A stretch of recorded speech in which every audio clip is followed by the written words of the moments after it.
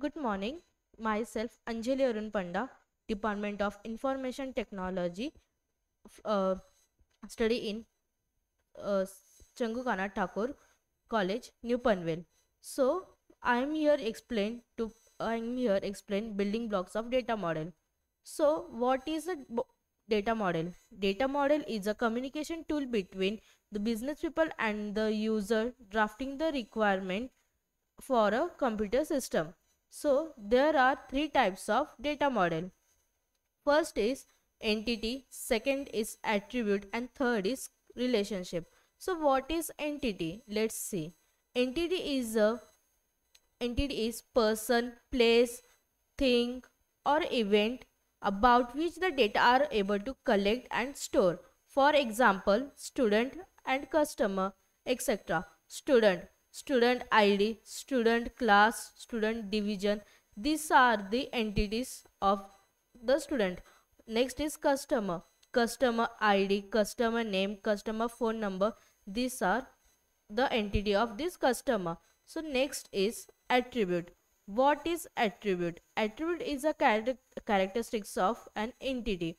Let's see the example. Student entity can be described by attribute such as student name, student address, student class, student division, student phone number. These things are the attribute characteristics of entity.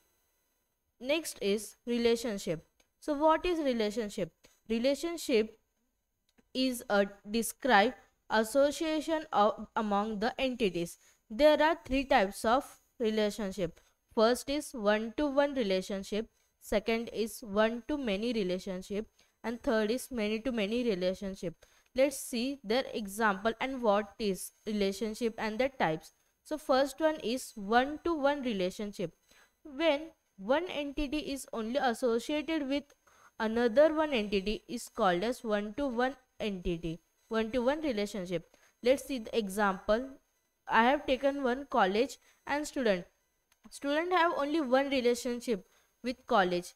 Only students are associated with only college. So this is called as one to one relationship. So we can take many other example like college and student department.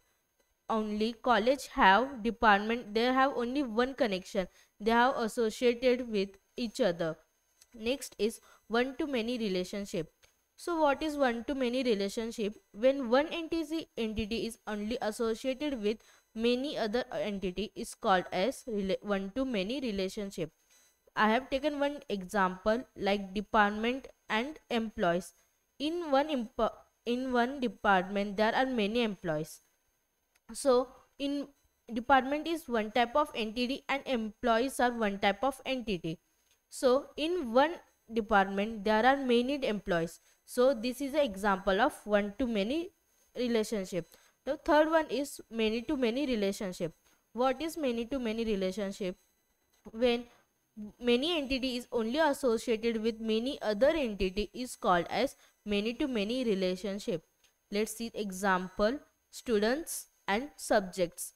Many students have so many subjects. So many students are entity and subject is also entity. So many students are only associated with their subjects this is an example of many to many relationship. Thank you